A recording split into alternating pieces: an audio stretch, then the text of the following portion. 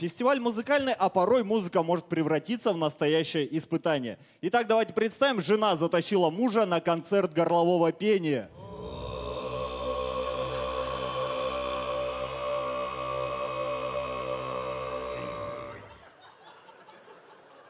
Сядь, Витя, это не все. Сиди, слушай, просвещайся. Я это уже слышал. Где ты это слышал? Мы дома, пока морозилку от стены не отодвинули, вот каждый день один в один. Да, между прочим, это известный коллектив, они третье место на России заняли. А я вот и думаю, Галка, ну не первые они, ну вот что-то не то. А знаешь, что билетов на концерт было просто не достать? Так никто и не достал, кроме тебя.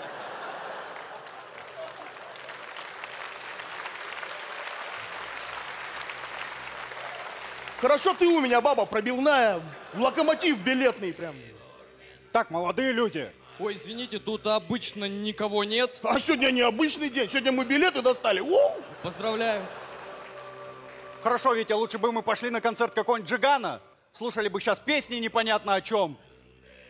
Да здесь-то все понятно тебе, что ли? Ты, если не понимаешь, возьми, прочитай. Он поет о том, как сложно охотнику в тундре собирать коренья.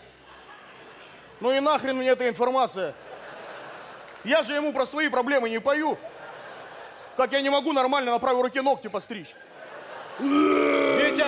Витя!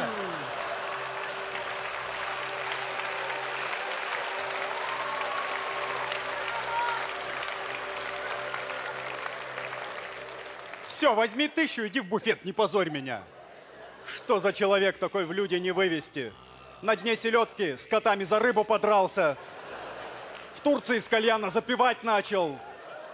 Сейчас что? Сейчас услышишь.